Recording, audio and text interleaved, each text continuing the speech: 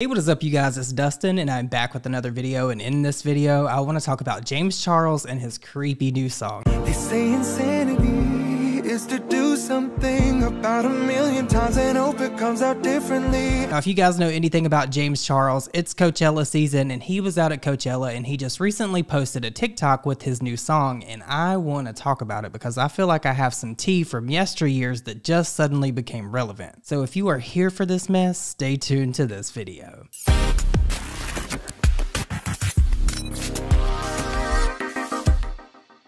So this wasn't even the video that I was going to make today. I'm working on a video about why people do not like Sharon Osbourne. But I was scrolling TikTok and James Charles's video from Coachella popped up with his new song and my flabber was gasted to say the very least. Now I'm not going to get into the nuance of why I don't like James Charles and why I don't support James Charles and why I believe that he's gotten away with things for years. There's tons of videos out there. And you did it at my birthday dinner. I have a ton of videos myself on that whole thing if you'd like to know. If you don't, just Google my name and James Charles. But I wanted to come on here and talk about the lyrics of this song because they're creepy for one. And two, I think I may have stumbled across some old tweets that may be relevant to this song and why it was written. So first, let's get into the lyrics. They say insanity is to do something about a million times and hope it comes out differently. I don't really know how more blatant he could be with saying this to do something a million times and hope it comes out differently. He has done this a million times. How many times have we heard of James Charles going up in straight men's inboxes to try to get them to hang out with him or go on dates with him? And if you remember in the past, I called him out for changing his gender on Tinder to try to meet men. So I would completely agree that if you do something a million times and hope it comes out differently and it doesn't, you might be the problem. Let that sink in, James. I guess that I'm insane. Are you entertained? Now, I hate to give people like James Charles credit, but I will say that this song actually does sound good. It's a lot better than when he chose to sing God is a woman. But no, James, I don't find your antics funny, entertaining, or humorous at all. You've done this for years at this point. You're literally a menace to society. And now you went and made a song about it. Like you've literally made a song about why straight men are into you. Do you not see that that might be a mental illness, that there may actually be something wrong with you upstairs? It's mental illness, isn't it? Maybe I'm wrong. You guys let me know down below. Cause you said I was beautiful, that your emotions were available. Yeah, the long nights, long flights, you were feeling it. Like, I am sitting here trying to gather myself to try to figure out what I want to say because the level of desperation in this song, I'm desperate. the song sounds really, really, really, really good. It does. I, I, I hate that I even have to say that because I do not like James Charles. I, I honestly can't stand him to be completely fair and honest. But like, why would you make a song like this after all the allegations? All the things that have been said about you, all the videos that have been made about you, all the tweets you've had to make addressing things, all the time you've put into trying to get away from this, why would you now, all these years later, come back and be like, I'm going to write a song about one of the straight men or some of the straight men that kind of declined me and I'm going to give them their karma, and we're going to get into that. And I say that because James Charles knows that people are going to try to figure out what the backstory is of this song. They're going to want to know the lore. They're going to want to know why he wrote this song. This is him trying to pull people back into his life because he wants to feel relatable. I just feel like it's really, really, really exceptionally creepy that he thinks that this is okay. Like, this is not okay. Like, luring straight men into conversation is okay and a normal thing. We should normalize that. How about no? Then you promised that I wasn't an experiment. You said you've never done this before. Same breath said you want this for sure. Now, we talked about how James Charles has tried to get away from the Hayes sisters, the Bye sisters, all that different stuff to try to rebrand himself and get away from all this stuff that has taken place over all the years. And we all know that I myself am not ever going to let that happen. But with that said, even with the rebrand, we all know that James Charles still has children that follow him. And I don't really think that they should be listening to lyrics like this because if you listen to this, it's extremely suggestive. And why would James want to be with someone in the first place where he could possibly be an experiment? That right there tells me that he's trying to talk to people that are questioning their orientation. Like, why is he doing that? He said that he was not going to do this before. He said in multiple different videos and multiple different instances across social media that he was not going to do this anymore, that he was not going to try to go for straight guys. I just just met her, so I'm not there yet. dream, dream social media threesome, dream threesome.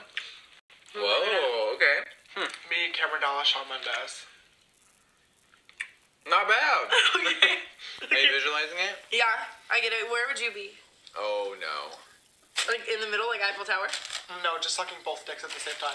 I've said it before and I'll say it again. That's extremely dangerous for somebody like James. He could end up hurt or killed. That is not something that you play around with. And now he's went and wrote a song about how he's done it over all the years. This is bizarre.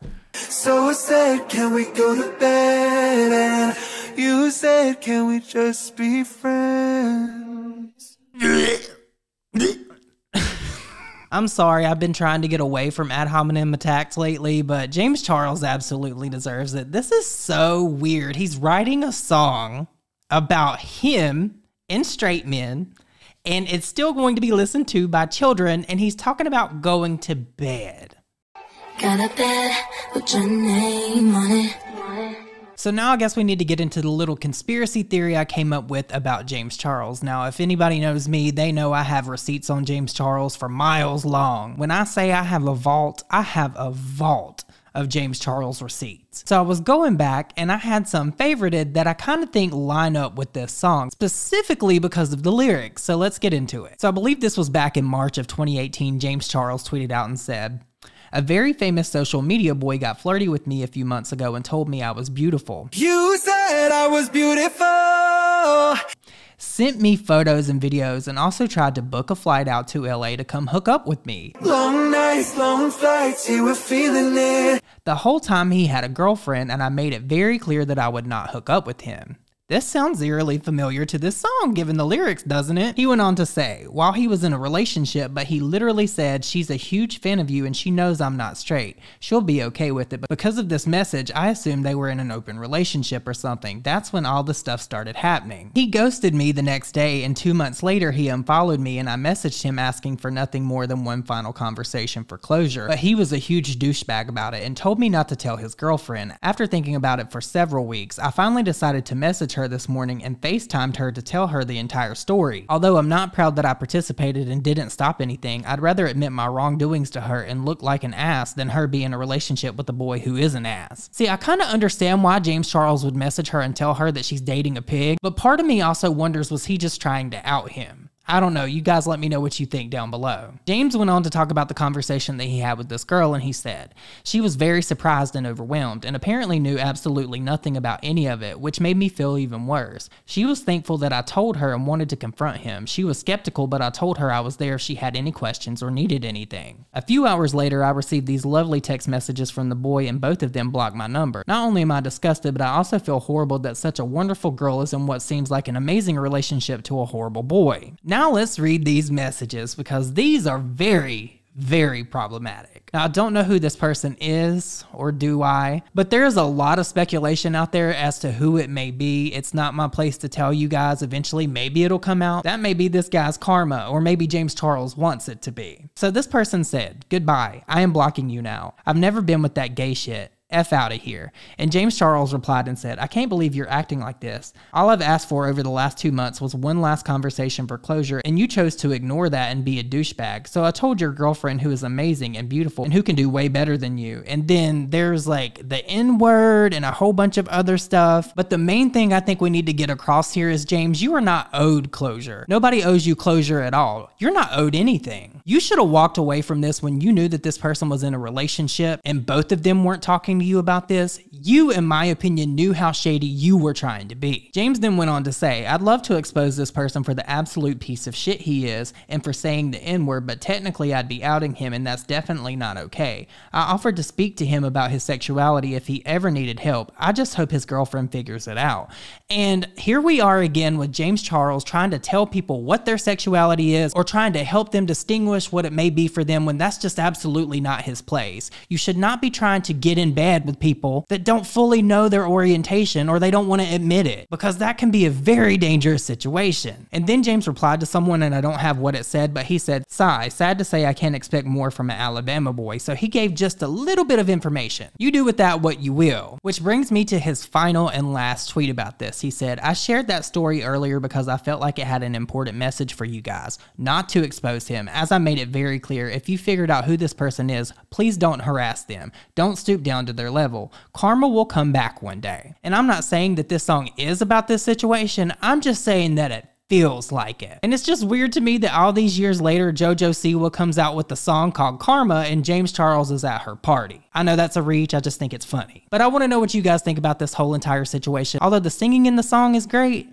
the lyrics are weird, especially given that kids may listen to it. But if you made it this far in this video, leave me the clown emoji down below. I feel like I'm using that a lot. And we have to use it, especially since we're talking about James. If you enjoyed this video, don't forget to like it. Please don't forget to let me know your thoughts and opinions down below. But with that said, I hope you guys all have an amazing day, and I will see you all in my next video. Bye, guys.